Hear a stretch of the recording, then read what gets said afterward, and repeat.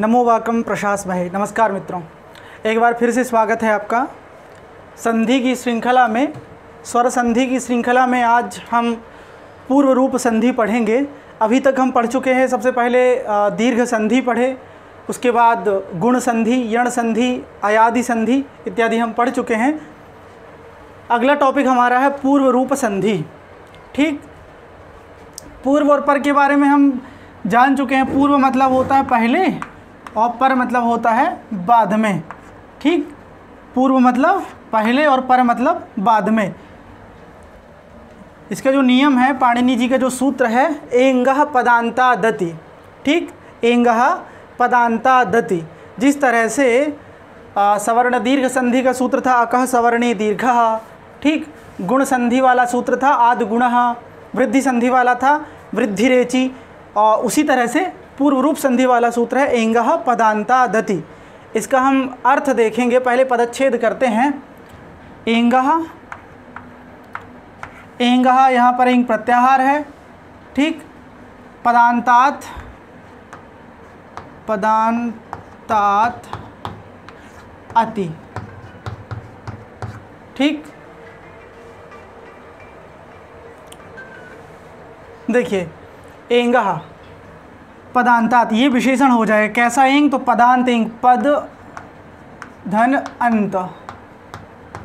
बराबर, पदांत। पद के अंतिम जो एंग हैं मतलब शब्द के अंत अंत में जो एंग आता है। एंग मतलब क्या होता है? एंग प्रत्याहार है। ए ओं के ए से ए ओं के आता तक ए और ओ। ठीक?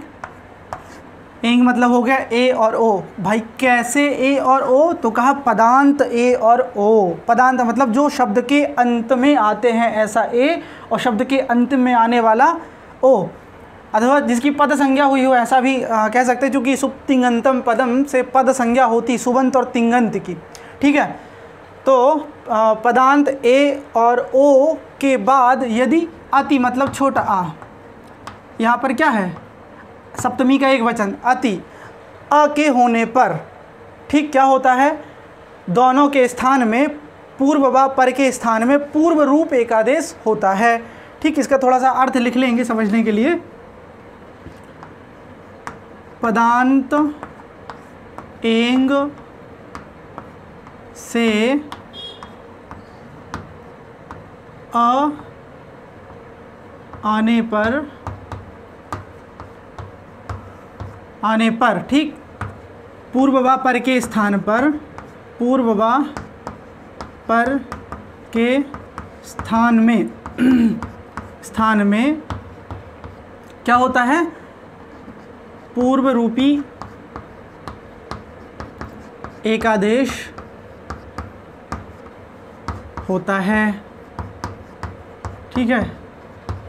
देखिए एंग पदांतात अति परतः ठीक?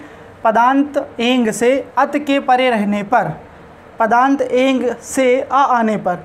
पदांत एंग मतलब अंतिम शब्द के अंत में जो आ, आ ए और ओ रहेगा उसके बाद यदि छोटा आ आता है तो क्या होता है? पूर्व व पर के स्थान पे। पहले और बाद में। पूर्व और पर के स्थान पे पूर्व रूपी एकादेश होता है। मतलब जो पूर्व में होगा वही दोनों के स्थान पे हो जाएगा। ठीक? जैसे उदाहरण देखते हैं। हरे धन अब ठीक? हरे धन अब अब यहाँ पर देखिए, हरे धन अब हरे जो है रा में जो ए है, वह पदांत ए है है ना? पद के अंत में है, अथवा पद संज्ञा है इसकी। पदांत ए हुआ, हरे रा में ए। ठीक? और उसके बाद अत है अब का आ। पदांत एंग के बाद, एंग किसे कहते हैं? तो एंग कहते हैं ए और ओ को।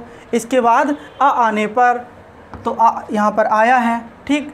पूर्व व पर के स्थान पर, पूर्व मतलब ए और आ के स्थान पर। क्या होता है? पूर्व रूपी एकादेश होता है। मतलब जो पूर्व में वर्ण होगा, पूर्व में कौन सा वर्ण है? ए है। तो इन दोनों के स्थान पे केवल ए हो जाएगा, ठीक? पूर्व व पर के स्थान पे पूर्व रूपी एकादेश होता है। तो इन दोनों के स्थान पे क्या रहा? ए मतलब इसके स्थान पे और इसके स्थान पे केवल ए बचा, है ना? राहल है, मिल जाएगा। और चंपा, पुष्प, कुटकन्या, ये ना, जब आ, का पूर्व रूप होता है तो खंडाकार बीच में छूट जाता है। हरेव, उसी तरह से देखिए विष्णोव। ये देखिए, हरे जो बना है ना, वो संबोधन में बना है है ना? संबुद्धि के एक वचन में बनता है हरे। अब मतलब रक्षा करिए। हे हरि, हमारी रक्षा करें। अब रक्षणी धातु है तो हरि को संबोधित करके कहा जा रहा है, हरे, हे भगवान हरि, हमारी रक्षा करें। ठीक? फिर से यहाँ देखिए, इसकी पद संज्ञा है। सुतिंगंतम पदम सूत्र है, सुबंत और तिंगंत की पद संज्ञा होती है तो ये सुबंत है। है ना? संबोधन का एक वचन सुप्रत्यय यहाँ पर आता है और इसकी पद संज्ञा हो जाती है, चूँकि सुबंत है, सुप्रत्यय इसके अंत में रहा है पहले। हरे धन। अब तो ये पदांत हुआ। पदांत ए के बाद अ आने पर दोनों के स्थान पर पूर्व रूपी एकादेश होता है है ना? तो पदांत ए हुआ, हरे राम ए, अत सामने अव का आ। इन दोनों के स्थान पर, ए और आ के स्थान पर पूर्व रूपी एकादेश, पूर्व में क्या है? ए है। तो इन दोनों के स्थान पर केवल ए शेष रहेगा। ठीक? अब देखिए, जब ए शेष रहेगा तो यहाँ पर क्या बचा? हर राहल है, और यहाँ पर केवल वाह चूँकि भाई आ और ए के स्थान पे तो हमने ए कर चुके हैं ना ऑलरेडी पूर्व व पर के स्थान पे पूर्व रूपी एकादेश। ठीक है? तो ये ये वाला जो है वो राशि मिल गया हरे और अब चूँकि हमने आ, मिलाया हटाया यहाँ से तो वो उसका खंडाकार छूट जाएगा हरे। उसी तरह से देखिए विष्णोब यहाँ पर देखिए विष्णुधन अब। विष्णुधन अब। यहाँ पर भी सेम वही रहेगा। पदांतेंग है, विष्णु भी संबोधन का एक वचन बन, जैसे विष्णु, जैसे हरि उसका चलता है। जैसे शब्द रूप चलते हैं ना विष्णु शब्द के, गुरु की तरह, गुरु गुरु, गुरवः, उसी तरह विष्णु विष्णु, विष्णव, विष्णु विष्णु, विष्णुन, विष्णुना विष्णुभ्याम विष्णुभि, विष्णवे, विष्णुभ्या विष्णुभ्याम विष्णुभ्य, है ना? उसके बाद पंचमी का एक वचन, विष्णु विष्णुभ्याम विष्णुभ्य फिर विष्णु विष्णवो विष्णुनाम विष्णु, विष्णवो विष्णुसु, विष्णु। संबोधन का एक वचन, ठीक? संबुद्धि के एक वचन में क्या आता है? विष्णु, इसलिए इसकी पद संज्ञा है भाई, सुमंत सुबंत है, इसलिए इसकी पद संज्ञा हो गई। तो पदांत हमें ओ यहाँ पर मिल गया, विष्णु नाम में ओ। पदांत ओ के बाद अब का आ अत भी सामने है। है ना? सूत्र का अर्थ क्या है? पदांत एंग के बाद यदि अ आता है तो पदांत एंग है ओ। एंग के अंतर्गत दो वर्ण आते हैं, ए और ओ। पदांत एंग हुआ आपका ओ, इसके बाद आ आने पर तो आ भी आ गया है यहाँ पर। पूर्व वा पर के स्थान पर तो पूर्व ये हुआ और पर ये हुआ। पूर्व वा पर के स्थान पर पूर्व रूपी एकादेश होता है। पूर्व में क्या है? पूर्व में ओ है। तो दोनों के स्थान पर जो पूर्व में है, वही केवल शेष रहेगा। यहाँ पर केवल ओ रहा इन दोनों के स्थान पर। क्या है अब स्थिति विष्णु अणाहल है और यहाँ पर केवल वाह है, ठीक? और चूँकि इस इधर आ और ओ मिल के केवल ओ शेष रहा है तो यहाँ पर बन जाएगा अणा से अणा में ओ मिल जाएगा आपका विष्णु। चूँकि आ हमने हटाया यहाँ से तो आ का हो जाएगा खंडाकार विष्णु व, ठीक? हरेव विष्णु ये प्रसिद्ध उदाहरण है।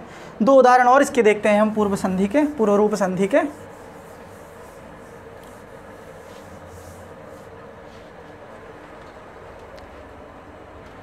देखिए, एक है अग्नि धन अत्र, ठीक? और दूसरा है वायु धन अत्र। देखिए, सब संबोधन के, अग्नि भी संबोधन का, वायु भी संबोधन का है ना? तो यहाँ पर क्या होगा? पदांत ए है, यहाँ पर भी पदांत ओ है। आप नॉर्मली ऐसे भी समझ सकते हैं लास्ट में जब ए और ओ आता है शब्द के तो अगर ए और ओ के बाद, अंतिम ए और ओ के बाद यदि छोटा आ आता है तो उन दोनों के स्थान में पूर्व रूपी एकादेश होता है। मतलब पूर्व में जो वर्ण, केवल वही शेष रह जाएगा। ठीक है? तो पदांत ए है, अग्नि नाम ए। बाहर निकाल लीजिए उसे। अग्न, ए, अत्र। ठीक है। यहाँ पर भी वही करिए। वाय ओ अत्र।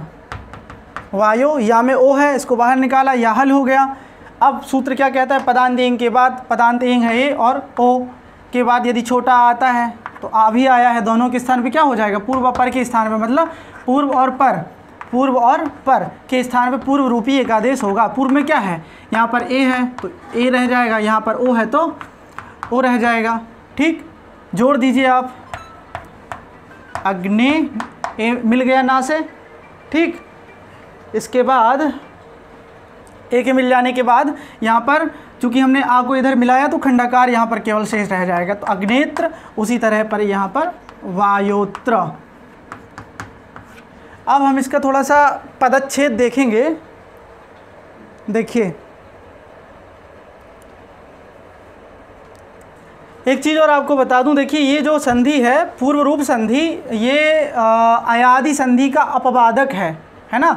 अयादि संधि में क्या होता है? एक स्थान में आय आदेश होता है स्वर वर्ण के सामने रहने पर, है ना? वो स्वर वर्ण अचिपरता कहता है, लेकिन ये क्या कहता है? अत के, एंग के बाद यदि अ आता है तो वहाँ पर केवल पूर्व रूप होता है है ना? अयादि संधि यहाँ पर नहीं अयादि संधि का ये अपवादक है। एचो यवा यावह का एंग पदांतादति जो सूत्र है, वह अपवादक सूत्र है, ठीक? इसके बाद हम देखेंगे, देखिए, सूत्र क्या था हमारा? एंग पदांता दति। लिखते हैं, ये लिखा है एंग पदांता दति। ठीक है? अब यहाँ पर पदांतात यह शब्द क्यों कहा? है ना? इस सूत्र में कितने पद हैं? सबसे पहले वो देख लीजिए। एंग पंचमी का एक वचन, पदांतात। पंचमी का एक वचन, है ना? अति। एक एक पद को जानेंगे। तो यहाँ पर ये पदांतात शब्द क्यों कहा? केवल यही कह देते कि एंग के बाद अत आने पर पूर्व रूप होता है। ये क्यों कहा कि पदांत एंग होना चाहिए? है ना? तो उसके लिए है दध्यत्र एक बनता है दधि धन अत्र। है ना? क्षमा कीजिए, दधि अत्र नहीं, जैसे चयनम है ना? चयनम। यहाँ पर देखिए, चेधन, अनम। अब यहाँ पर भैया, पदांत एंग नहीं है ना? यहाँ पद संज्ञा नहीं हुई है इसकी। यहाँ पर अयादि संधि ही प्रवृत्त होगा, है ना? एक स्थान पर आय आदेश हो जाएगा तो चयनम बन जाएगा। इसलिए इस सूत्र में पदांत एंग से अत के परे रहने पर कहा, चूँकि ये पदांत एंग नहीं है, ये अपदांत एंग है, इसकी पद संज्ञा नहीं हुई है है ना? यदि पदांत एंग ना कहते तो यहाँ पर ये अरिष्ट रूप बनने लग जाता। ठीक? चयनम, पवनम इत्यादि। इसके बाद,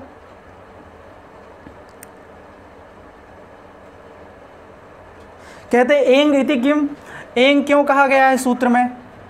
तो प्रयोग बनता है एक दधि, धन, अत्र।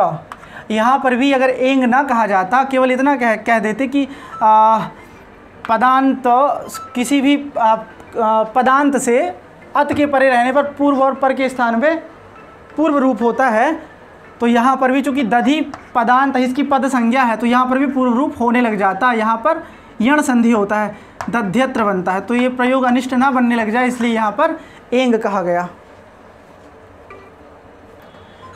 सूत्र में अत के परे रहने क्यों, रहने पर क्यों कहा गया? तो ये एक प्रयोग बनता है वायो इति, है ना? तो यहाँ अगर अत ना कहते, अत मतलब छोटा आ तो यहाँ पर भी अनिष्ट रूप बनने लग जाता है, इसका भी पूर्व रूप हो जाने लगता है, इसलिए यहाँ पर सूत्र में अति इस पद को रखा गया है।